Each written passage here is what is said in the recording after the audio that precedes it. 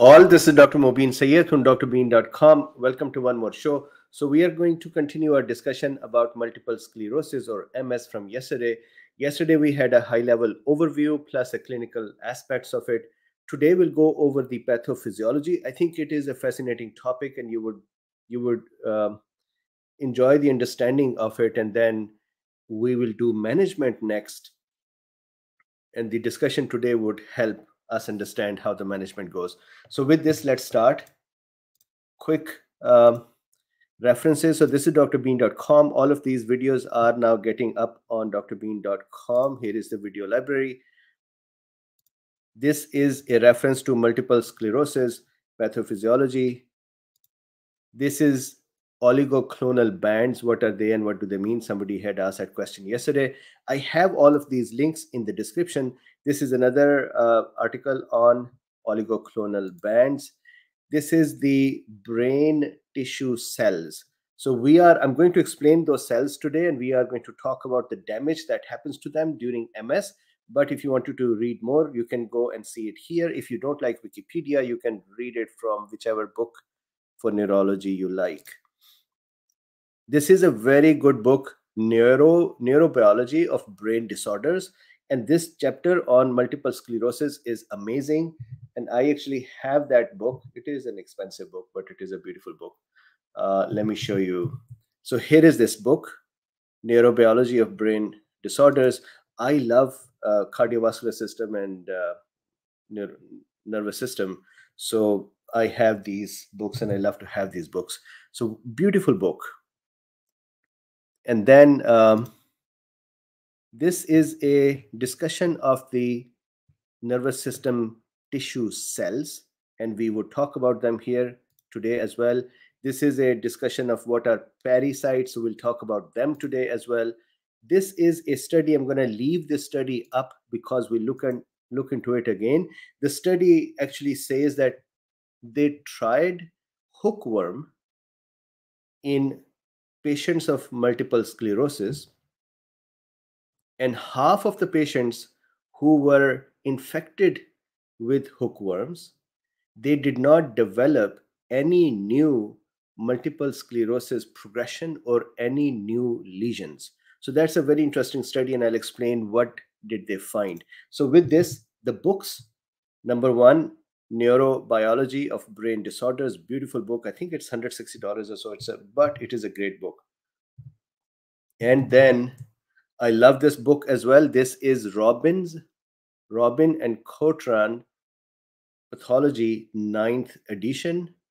And then i also have rubin's pathology as well. So all of these books references are used. So let's start our discussion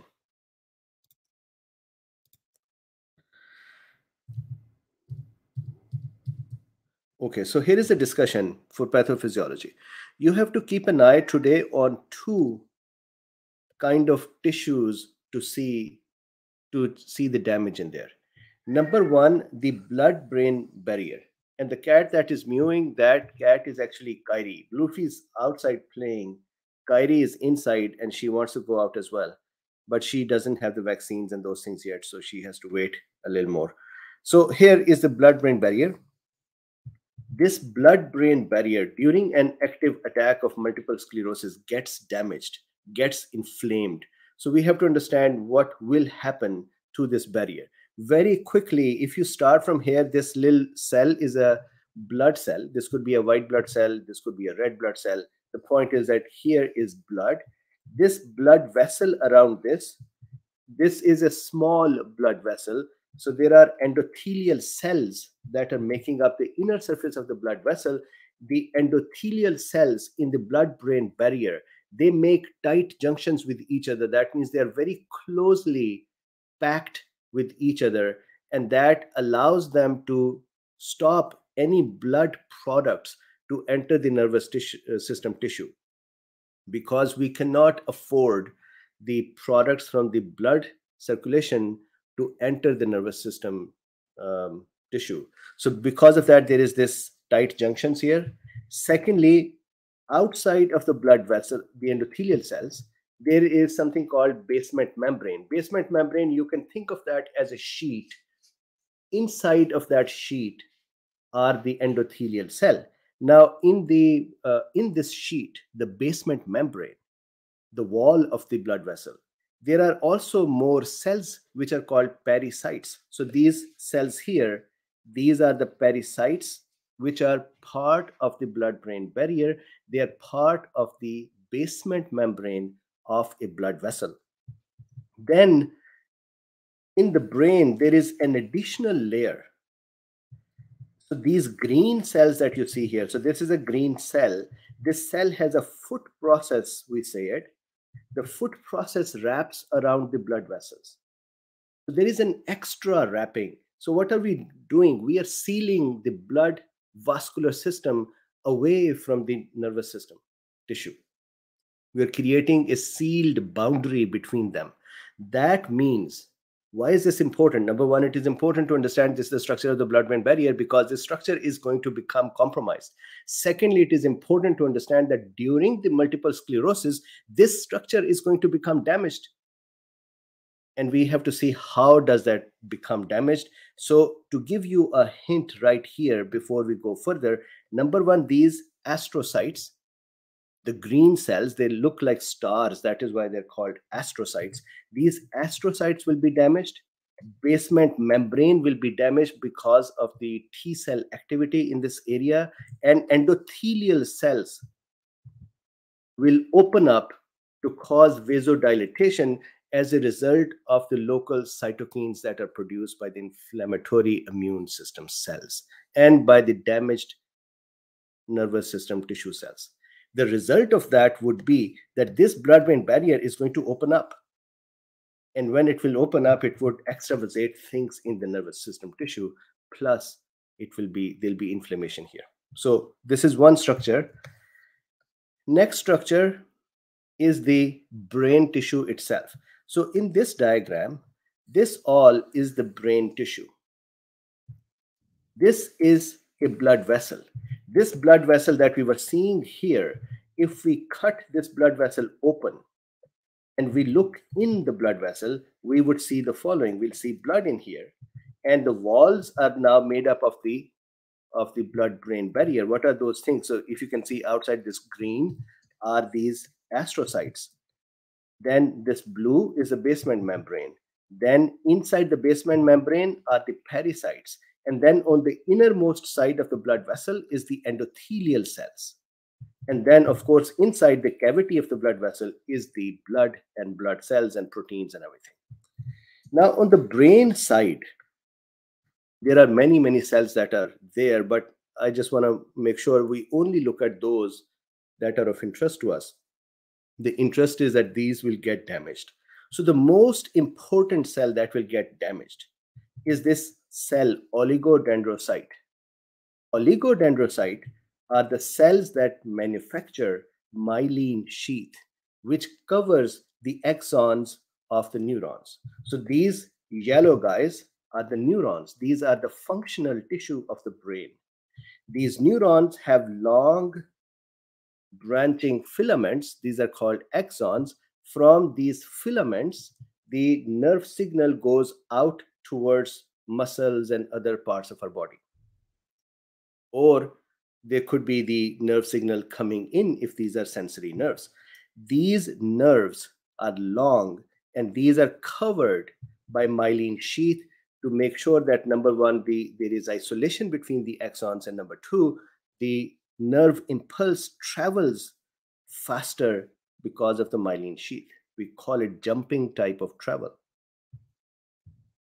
The cells that make up the myelin sheath in the brain or central nervous system, these are called the oligodendrocyte. When they make this myelin sheath that wraps around the axon, this myelin sheath is that there are proteins in this sheath that are the target of autoimmune disease, which makes multiple sclerosis. That is what we are going to see today. But just realize that this blue cell's foot, which is covering the axon, this thing is going to get damaged. And when we repeatedly damage the myelin, then the cell would die as well. when the cell would die, then the axon will become naked. When the axon would be naked, it will be injured again and again, and it would develop scars on it, and it might even get damaged and broken, and it will not function correctly. In this process, this little cell here, astrocyte, might get damaged as well. And that would give rise to scars. And then I made a tiny cell here, just one cell, to just complete the tissue cells here. This is ependymal cell. Ependymal cells are usually present only when the where the boundaries of the brain tissue is facing the ventricles or the cavities of the brain. On those surfaces, these ependymal cells are present and they help with this cerebrospinal fluid production and movement. I just put that here for completion's sake. In addition to that, if you see this little cell over here, this cell is called microglia. Microglia are the monocytes of the brain. They are the macrophages of the brain. Brain contains its own immune system. Brain does not like anything from outside to come in and act as a soldier. This is just like they said in a country. We don't want army to take care of the peace in the country. It is police's job or other agencies, but not army. You can think of the brain tissue in the same way. That is the country. In the tissue, brain does not want T cells and macrophages and B cells from outside of the body, from outside of the brain. That means from the body, brain doesn't want those cells to come in. So then if you ask the brain that, hey, how would you protect yourself? Brain would say, I'll protect myself by having a strong blood-brain barrier. And number two, I'll have my own immune system cells. I will call them microglia. Of course, we called it, but let's say brain is calling them. So 90% of the immune system cell are macrophages in the brain, which are called microglia. Now, in the case of multiple sclerosis, not only we will see extensive damage here, you would also see that these foreigner cells, the B cells and the T cells from outside of the brain, will break through the blood brain barrier, enter the brain, and when the blood brain barrier will become healed again, these cells would just sit here and make their nests here and make secondary lymphoid tissue in the brain and start living there forever. And then they would wake up every so often and cause damage. This is like army barracks that once the army came into the brain, those barracks are established, and then the army never leaves from there. It just sits there. And then it randomly wakes up and causes damage. We'll see how the damage occurs. But this is important to note that usually brain does not like to have B cell, T cell, other cells from outside inside. But once this damage would occur, then they would start living here. Okay, so now let's see what is the target of the damage. And I explained it before. There are major basic proteins in the myelin sheath. Major basic proteins are present in from other cells as well. So just simply in the myelin sheath, there are proteins. These proteins become a target of the immune system cells. So we'll once that start destroying, getting destroyed, then of course the brain tissue gets damaged. Now, before we see what is the damage, let's see why is the damage. So one observation is that areas that have less sunlight, areas that have less sunlight, over there, there is more prevalence or incidence of multiple sclerosis. And there are two possible theories there. One theory is that sunlight, the ultraviolet part of the sunlight, ultraviolet rays, they, number one, help improve the function of suppressor T cells. In multiple sclerosis, T regulatory cells or the suppressor cells whose job it is to tell the immune system not to attack our own tissue. those cells do not function correctly. So, sunlight actually improves the function of regulatory cells. Hookworm, hookworm also improves the function of these cells. Then sunlight also reduces the function of the T cells that activate the remaining immune system. Those koolbeens who have been here for a long time, you know that we go from naive T cell, then T helper 1, then to cytotoxic T cell, or naive T cell becoming T helper 2, and then activating plasma or B cells to make plasma cells which will make antibodies, correct? These T cells, we don't want them to become active against our brain. Sunlight somehow reduces the number and activity of these T cells. That's mm-hmm. also very interesting. So reduces the T helper activity. Sunlight also reduces those T cells, those T cells that attack our self cells. Normally, immune system is trained not to attack our own cells, or it is trained not to attack self. But sometimes these cells forget to do that and they start attacking our cell.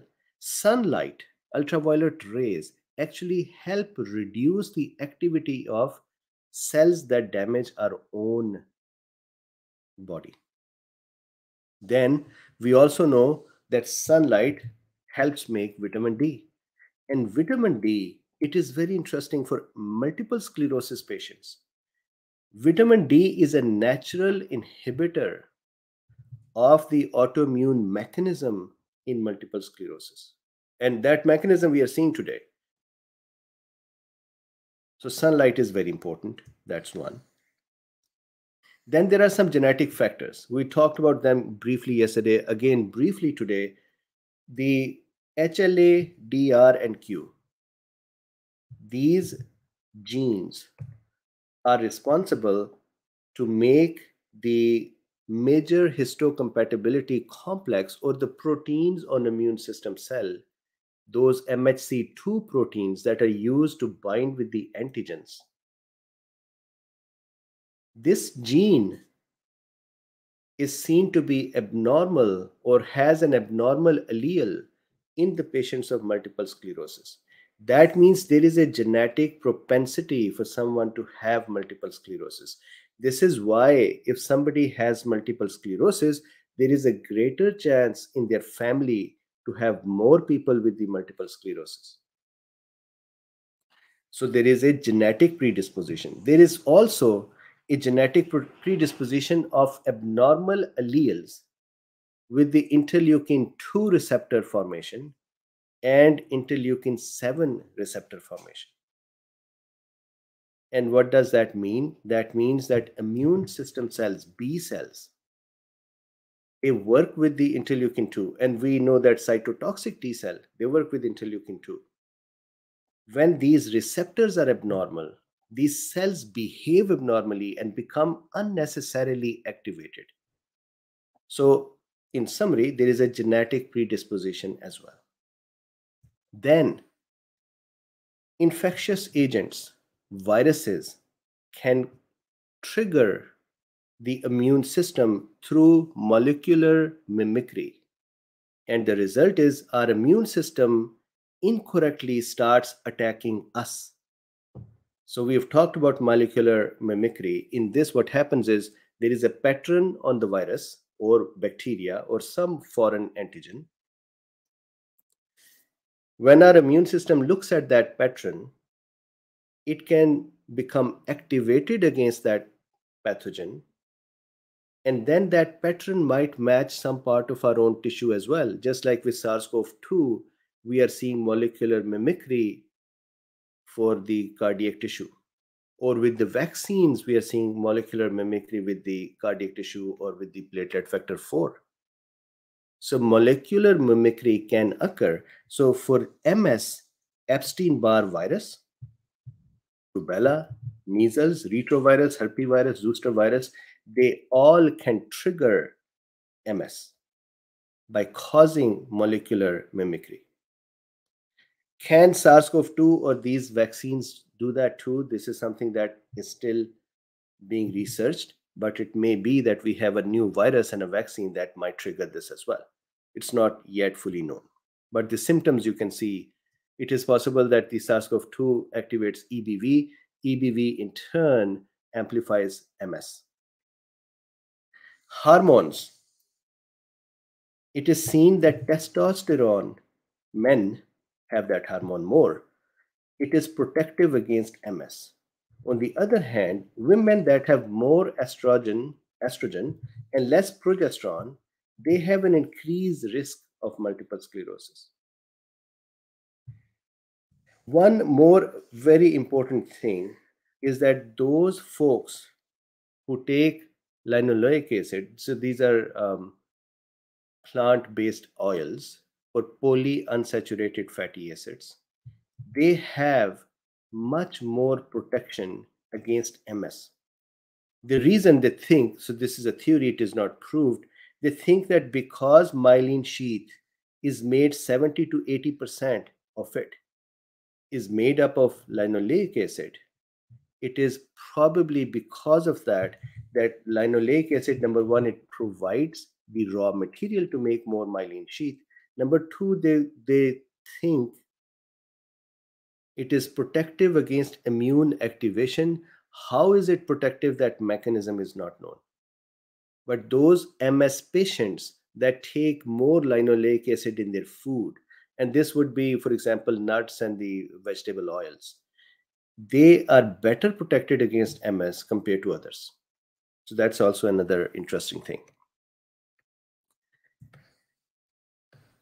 Now, going back to the pathology itself. So now let's say here is a virus. The question is, how does it start? And it is so interesting. Uh, I think this today, I watched many videos, I read many articles, I went through many books. What I wanted to understand was how will an attack start? And you would see when you would go through these books and videos and articles, everybody would simply say there is an autoimmune trigger and the attack starts and then everybody tells you that when the attack occurs brain tissue or myelin sheath becomes damaged question was how does the attack start?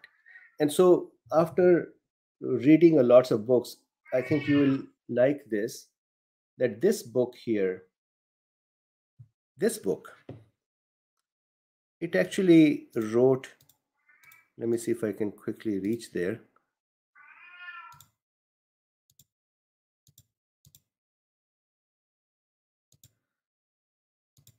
So here, so this is molecular mimicry.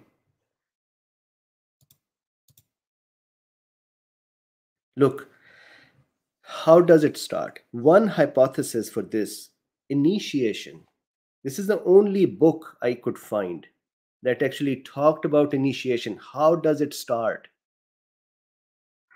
One hypothesis for this initiation is the possible activation of autoreactive cells by cross reactivity between self antigen and foreign antigen agents, a phenomena known, known as molecular mimicry.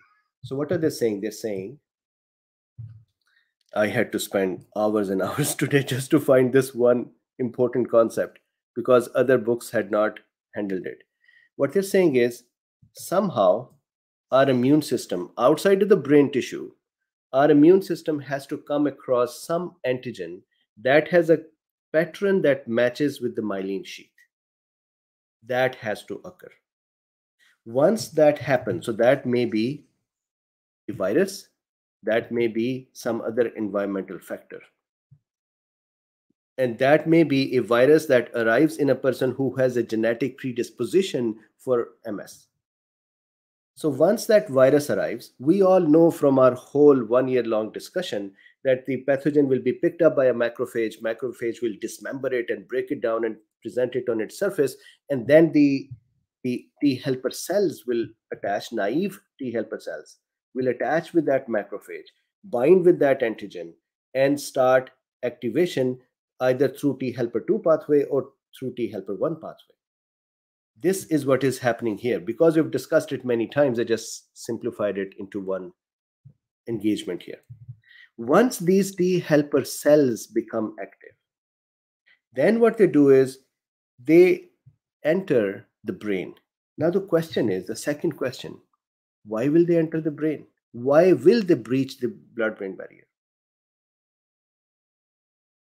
So, let's say I have Epstein Barr virus. That Epstein Barr virus is, let's say, in my throat. And so my immune system cells reacted to it why will they go run to the brain and start attacking there? It seems like it may be that the Epstein Barr virus, either the antigen or the virus, might enter the brain as well and cause some level of inflammation there too, which will then in turn cause inflammation of the blood brain barrier. Our immune system cells do not enter a tissue without some damage happening there. They don't just willy nilly go and start attacking tissues. There has to be something. So there was, let's say, the virus was here, or some antigens of the virus were there. The result was inside the brain, there was some mild, very minor inflammation. The result of that was that blood brain barrier became active to say, I want more immune system cells to come in.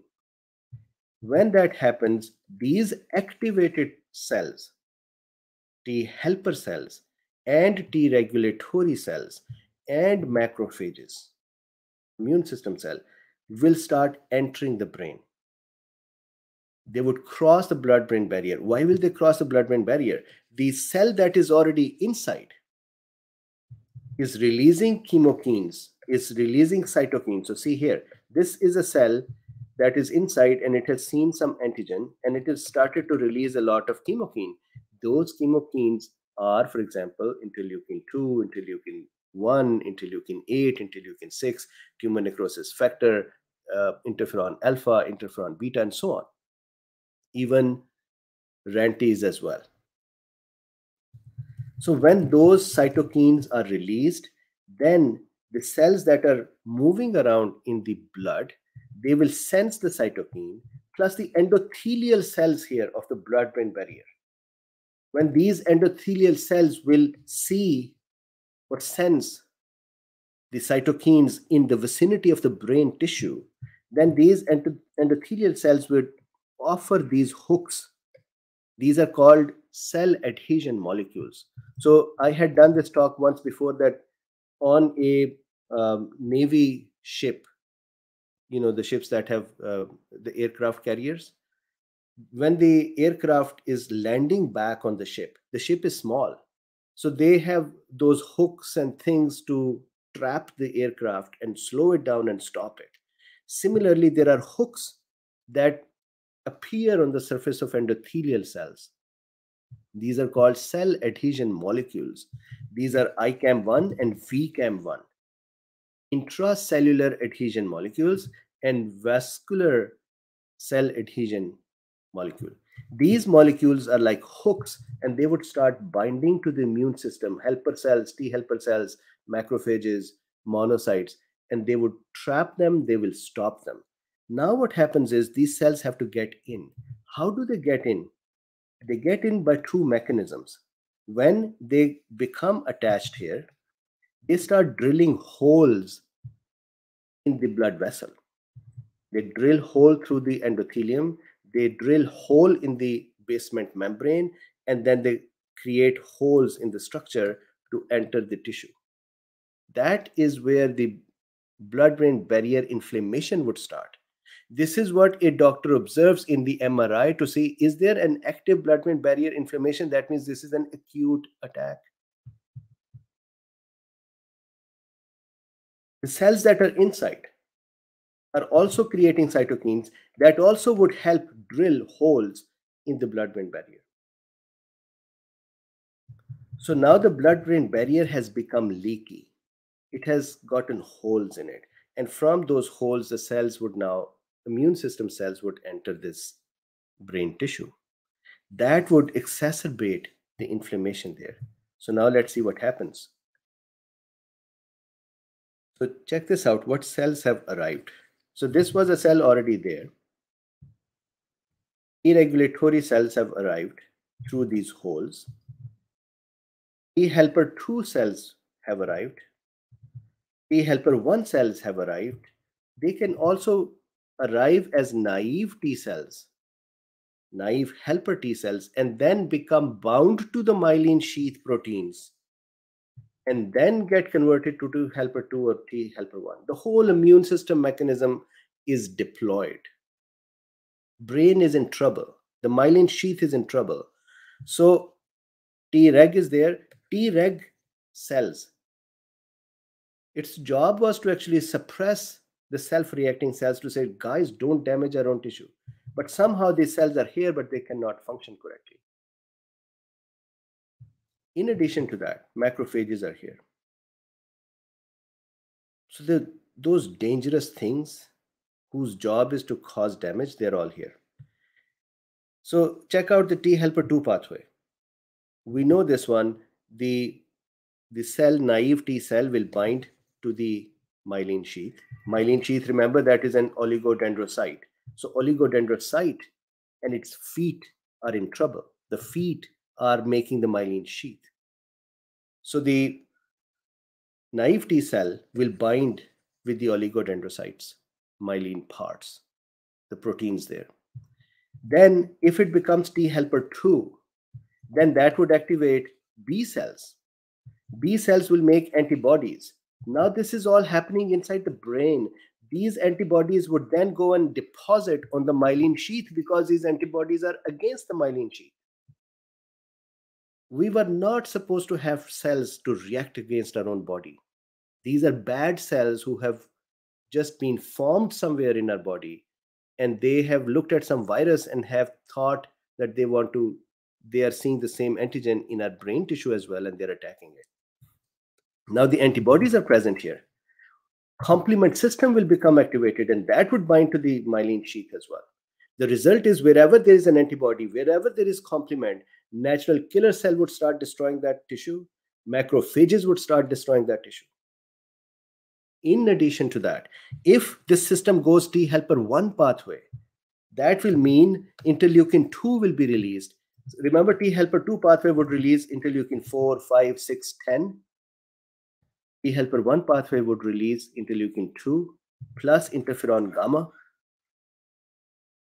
That is T helper 2 pathway function cell, T helper 2 cells. When the interleukin 2 is released, that would activate the cytotoxic T cell. Cytotoxic T cell in turn will go and damage the myelin sheath. T helper 2 cell would also release interferon gamma. Interferon gamma would activate the macrophage and macrophage would start munching at the myelin sheath. So this is like dogs have come in and they're all just chewing and biting at the myelin sheath. And the the cells that were supposed to calm the system down, those cells are not functioning correctly. So what is the result? Result is active inflammation. Now, in the beginning, if we now look at how these neurons they get damaged and how do they behave what happens to them so imagine this is one neuron the very first time when this happens this event occurs.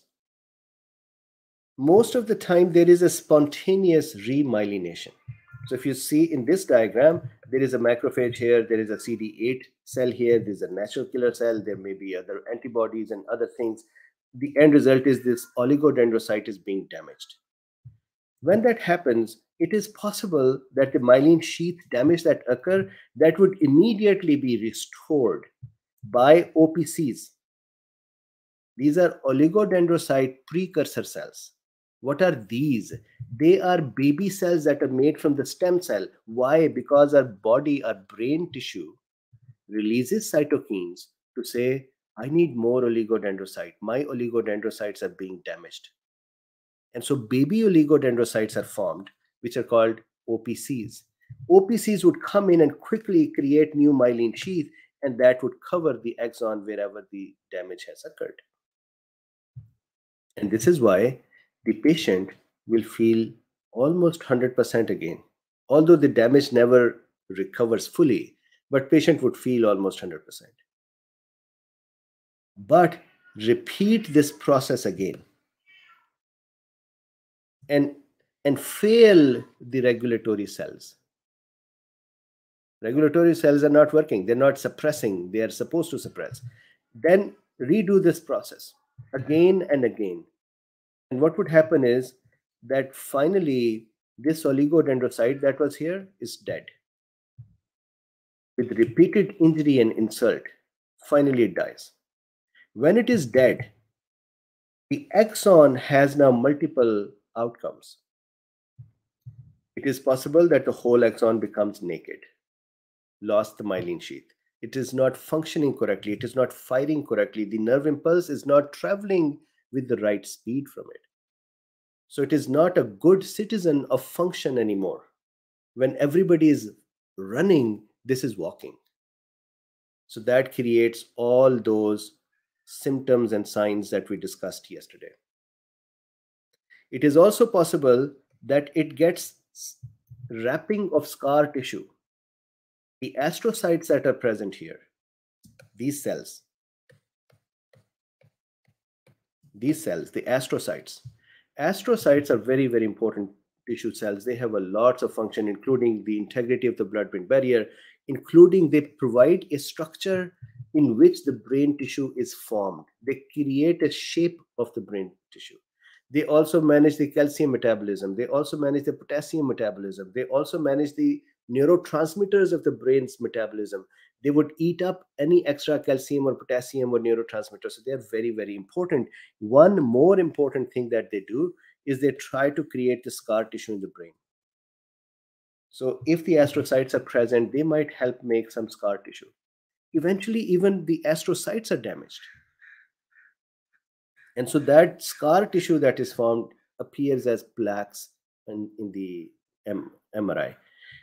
The worst thing that can happen to the neuron, other than malfunctioning, is that the neuron can actually break. Why would a neuron break? Because the attack is not on the neuron, attack is on the myelin sheath the neuron can break because when the attack is occurring there is so many chemical substances that are released which are cytotoxic that the toxicity the irritation from those can cause the, the cell to break so when it is broken there is a possibility that it would regenerate so neurologists who are listening they know that it is sometimes possible that these ends will move towards each other and they, they would regenerate but not many times and they know that there will be a Wallerian degeneration. And what that means is that this part, the distal part, this is like if my finger is removed, it is cut, my hand would stay healthy, but the finger that is removed would die.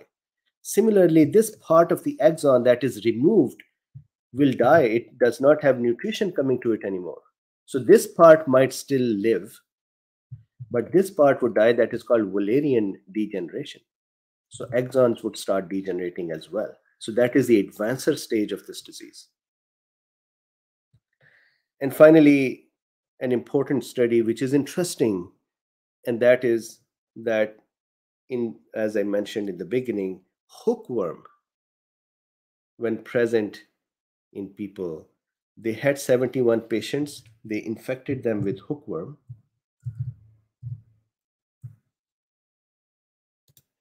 here. And they said the results at the end of the trial showed that the total number of new MRI lesions did not differ significantly between patients receiving hookworm and those receiving placebo. However, more than half the patients on hook, hookworm had no new lesions at all. And their conjecture is that hookworm improves the function of T regulatory system cells. So here is a hookworm that is kind of wrapped around a T regulatory suppressor cell and asking it to function better. So this is the discussion. Um, just a few points. Let's do them in the chit chat so that this video stays this size. I want to make some more point about how does the immune system become so dysregulated and when we come back on tomorrow we'll do a zoom call when we come back on monday we'll talk about the management approaches and what are the therapies that are available and we'll go from there.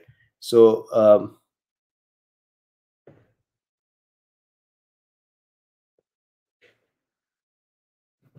so thank you very much for the for your time for listening. Please like subscribe and share. And if you like this kind of work this work this uh, content uh, you can support this. There are links in the description. One is to use paypal other one is to buy me a coffee or you can become a patron as well. So thank you very much and i would see you in a second in chit chat